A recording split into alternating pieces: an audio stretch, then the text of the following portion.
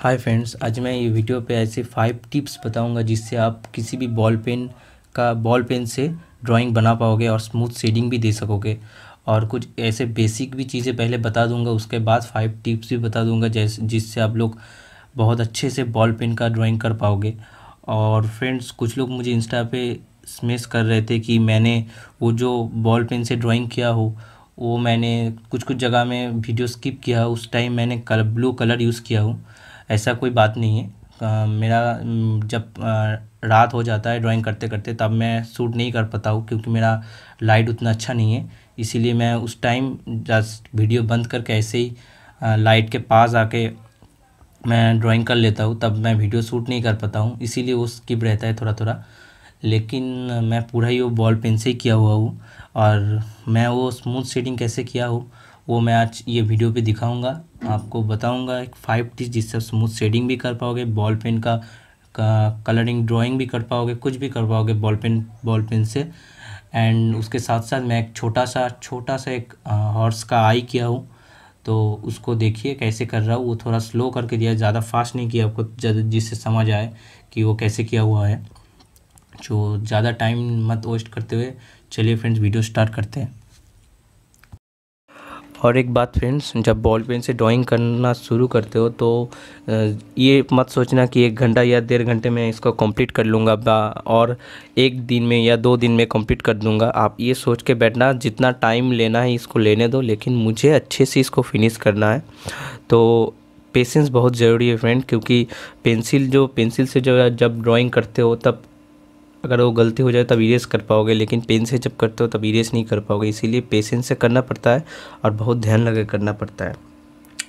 तो फ्रेंड जो five tips है, उसमें से जो पहला टिप्स है, वो है राइट पेपर चूज़ आपको तो पता ही है, किसी भी तरह का ड्राइंग आप करने जाओ तो सही पेपर चूज़ करना पड़ता है। अगर आप गलती पेपर सोच लीजिए कि आप वाटर कलर कर रहे हैं तो दूसरा कुछ आईवुडी पेपर ले लिए तो उसमें वाटर कलर नहीं होगा। उसी तरह की जो आप, जब पेन से जब ड्रॉ करते हो तो आपको सही पेपर चूज़ करना पड़ेगा। मैं जो यहाँ पर पेपर चू कर रहा हूँ पेपर से पे ड्राइंग कर रहा हूँ, उसको कहते हैं हॉट प्रेस पेपर ये पेपर वाटर कलर का एक वेरिएंट है वाटर कलर का थ्री वेरिएंट पेपर होता है। एक होता है रॉ प्रेस्ड एक होता है कोल्ड प्रेस्ड और एक होता है हॉट प्रेस्ड हॉट प्रेस ज़्यादा स्मूथ होता है, लेकिन पूरा आईवरी की तरफ़ बहुत ज़्यादा स्मूथ नहीं होता। थोड़ा टेक्सचर रहता है, इसीलिए ये पेपर मुझे अच्छा लगता है। आपको वही पेपर चूज़ करना है जिसमें बहुत ज़्यादा टेक्सचर नहीं है और बहुत कम भी नहीं। स्मूथ है, लेकिन थोड़ा टेक्सचर रहता है। इसमें देखने में अच्छा लगता है और करने में भी आसान होता है।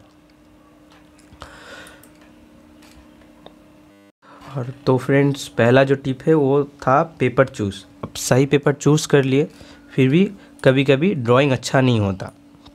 क्यों नहीं होता? क्योंकि आप जो ड्राइंग कर रहे हो, उसमें थोड़ा स्किल चाहिए जो स्किल है प्रेशर कंट्रोल। प्रेशर कंट्रोल क्या है? वो हाथ आपके हाथ के ऊपर डिपेंड करता है कि आप कि, पेन पे कितना ज़्यादा प्रेशर दे रहे हैं उससे वो कितना ज़्यादा डार्क शेडिंग ला रहा है। तो आपको देखना पड़ेगा कि मैं कितना ज़्यादा प्रेशर दे रहा हूँ उसके बदौलत जो मुझे जो कलर मिल रहा है वो कितना ज़्यादा डार्क है। तो फ्रेंड्स आपको ये सोचना पड़ेगा कि मैं पेन से जब ड्राइंग कर रहा हूँ मैं किस जगह पे कितना प्रेशर दूँगा? और आपको ये कंट्रोल करना पड़ेगा। मैं अगर इधर लाइट सेटिंग कर रहा हूँ तो मुझे जितना प्रेशर देना है, हर एक जगह पे प्रेशर सेम देना है। हर एक लाइन जब मैं देखो, देखिए, अब मैं जो एक सीधा सीधा एक सीधा सीधा लाइन खींच खींच के एक जगह भर रहा हूँ। तो जो सीधा सीधा लाइन जो खींच रहा हूँ मैं अगर लाइट हुआ तो मैं एक ही प्रेशर से कर रहा हूँ। अगर आप सोच लीजिए कि बहुत सारा लाइन करते करते एक लाइन डार्क हो गया तो वो जगह स्पॉट हो जाएगा देखने में अच्छा नहीं लगेगा। कि लगेगा कि उधर आ, कुछ एक कटा हुआ हिस्सा है ऐसा लगेगा। स्मूथ वाला कोई हिस्सा नहीं आएगा। और जो लोग मुझे इंस्टाग्राम पे बता रहे थे कि स्मूथ कैसे लाते हो स्मू ऐसा इतना स्मूथ होता है तो आप ज़रूर कलर यूज़ करते हो लेकिन ऐसा कुछ नहीं है। देखिए मैं लाइन, एक के बाद एक लाइन दे रहा हूँ, एक के बाद एक लाइन दे रहा हूँ, एक के नीचे एक एक के नीचे एक, ऐसा करके लाइन देते देते देते देते मैं स्मूथ जो हिस्सा है उसको मैं एक तरह से कर रहा हूँ। मैं अगर लाइट कर रहा हूँ तो वही प्रेशर से मैं पूरा ही लाइट कर रहा हूँ। इसीलिए वो पूरा जगह लग रहा है कि एक एक कलर है, एक लाइट शेडिंग है। कुछ कुछ जगह ऐसा लगता है कि पेन से नहीं किया हुआ है, क्योंकि वो जगह बहुत ज़्यादा सॉफ्ट हो जाता है दिखने में। इसीलिए तो आपको सही प्रेस जो प्रेशर है, हाथ का जो प्रेशर है, वो आपको कंट्रोल करना पड़ेगा। तो ये था सेकेंड टिप और थर्ड टिप है लाइन गैप लाइन गैप क्या है? देखिए, जो मैं पहले भी बोल रहा था कि एक के बाद नीचे नीचे मैं एक लाइन दिया, उसके नीचे वही प्रेशर से और एक लाइन दिया। उसके बाद second line third line fourth line उसके नीचे नीचे नीचे नीचे देता गया। लेकिन देखिए जब फास्ट लाइन दे रहा है, उसके नीचे जो फिर से और एक लाइन दे रहा है तो उसमें कभी कभी क्या होता है गैप हो जाता है। मतलब थोड़ा दूर हो जाता है। उसके उसके कारण क्या होता है, बीच में थोड़ा वाइट वाला हिस्सा दिखता है। तो आपको प्रैक्टिस में क्या करना पड़ेगा कि धीरे धीरे धीरे धीरे आप कोशिश करेंगे कि वो दोनों का जो लाइन गैपिंग है, वो गैप धीरे धीरे छोटा हो जाए। सोच लीजिए कि आप कोई स्ट्रोक से स्ट्रोक से काम कर रहे हैं। पेंसिल स्ट्रोक या पेन स्ट्रोक से काम कर रहे हैं, तब लाइन में गैपिंग होना ज़रूरी है। लेकिन आप यहाँ पे स्ट्रोक नहीं कर रहे, आप एक स्मूथ, रियलिस्टिक ड्राइंग कर रहे हैं। रियलिस्टिक ड्राइंग करने पे आपको क्या करना पड़ेगा, जो दूस, पहला जो लाइन दे रहे उसके नीचे जब लाइन दे रहे उसमें गैप नहीं रहना चाहिए। अगर गैप रहेगा तो आपको देखने में उतना स्मूथ नहीं लगेगा। एक तरह, एक एक जैसा फील नहीं आएगा। एक टोन जो है, लाइट टोन, वो फील नहीं आएगा। तो इसीलिए आपको देखना पड़ेगा कि लाइन में कितना गैप हो रहा है। अगर करते करते लाइन में गैप हो गया तो फिर से वो जो गैप है, वहाँ पे पहले कलर कर लीजिए। और प्रेशर कंट्रोल करना बहुत ज़रूरी है, क्योंकि अगर दोनों लाइन में एक लाइन डार्क एक लाइन लाइट हो गया तो अच्छा नहीं दिखता है। तो इसीलिए आपको प्रेशर भी कंट्रोल करना पड़ेगा और लाइन गैप जो है, वो भी देखना पड़ेगा। और देखिए, मैं यहाँ पर दो पेन लिया हूँ। एक ऑरेंज कलर का, एक थोड़ा ट्रांसपेरेंट जैसा कलर है। जो ट्रांसपेरेंट है, वो थोड़ा, उसका निप थोड़ा मोटा है। और जो जिसका जो ऑरेंज वाला है, वो पतला है। ठीक है, मैं दोनों से जहाँ पे लाइन गैप छूट जा रहा है तो मैं पतला वाला नीप से वहाँ पर गैपिंग को भर दे रहा हूँ। इसीलिए स्मूथ भी लग रहा है वो जो, देखिए ड्राइंग है, वहाँ पे स्मूथ लग रहा है, जो लाइट वाला हिस्सा है। तो ओके फ्रेंड ये था थर्ड वाला टिप्स और जो फोर्थ वाला टिप्स है, वो है मोटा नीप।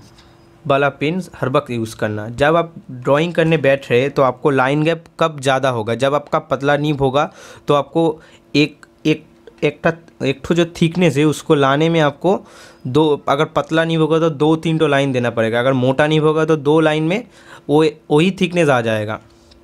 तो इसीलिए आपको मोटा नीप वाला वॉल पेन हर वक्त यूज़ करना पड़ेगा। इसीलिए देखिए, मैं यहाँ पर दो पेन लिया हूँ। बी का बी का पेन है।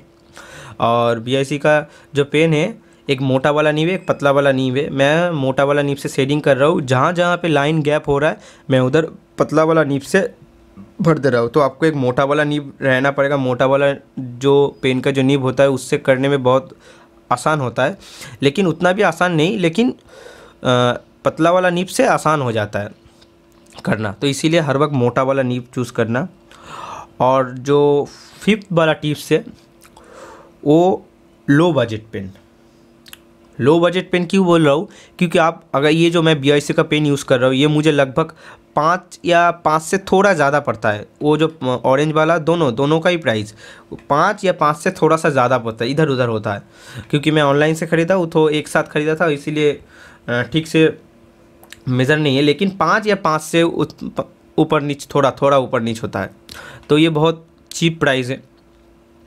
तो आपको चीप पेन क्यों लेना है? अगर आप ज़्यादा एक्सपेंसिव पेन लेंगे तो उसका निब बहुत अच्छा होता है और बहुत स्मूथ होता है। तो आप पहले ही जब उसको थोड़ा लिखेंगे, थोड़ा लिखने के बाद ही वो इतना स्मूथ हो जाता है कि आप जब ऐसे ड्राइंग करने बैठोगे तो आप जो लाइट वाला शेडिंग आप नहीं ला पाएँगे उससे। वो इतना स्मूथ होता है कि आप थोड़ा सा प्रेशर देंगे, उससे ही डार्क वाला जो इंक है, उससे निकल आएगा। तो इसीलिए आपको हर वक्त जो लो बजट पेन है, वो लेना पड़ेगा। लो बजट पेन में उतना उतना जल्दी नीप स्मूथ नहीं हो जाता है। और मैं जो ये बी का पेन यूज़ कर रहा हूँ, इसमें भी यहाँ क्या करता हूँ, जब मैं ये बहुत घसती घसती इसका नीप बहुत बहुत स्मूथ हो जाता है देखता हूँ कि कम प्रेशर देने से ही ज़्यादा इंक निकल के आ रहा है, तब मैं क्या करता हूँ, तब मैं दूसरा वाला पेन चेंज कर लेता हूँ और जो ये पेन है, इससे मैं राइटिंग या कुछ भी स्क्रिप्ट कुछ भी लिख लेता हूँ। इसीलिए आप ऐसा चूज़ करना कि थोड़ा लो बजट पेन। और फ्रेंड्स, यही था आज का जो फाइव टिप्स है। आप देखना, इसको फॉलो करके प्रैक्टिस करना, देखना कि आपका जो ड्राइंग है अच्छा हो जाएगा। और आप तो देखिए, मैं आपके सामने हॉर्स आई पेंट किया हूँ। देख लीजिए मैं कैसे कर रहा हूँ। थोड़ा फास्ट है, लेकिन ज़्यादा फास्ट नहीं किया हूँ। ओके फ्रेंड्स आज के लिए इतना ही। आपको अगर इस वीडियो से कोई हेल्प मिला है तो प्लीज़ लाइक कीजिए कमेंट कीजिए सब्सक्राइब कीजिए और नोटिफिकेशन बेल को भी बजा दीजिए, जिससे आपको पहला इस, ऐसी तरह का जो ट्यूटोरियल है या आर्ट रिलेटेड कोई भी वीडियो आपको सबसे पहले नोटिफिकेशन मिल जाए। And thanks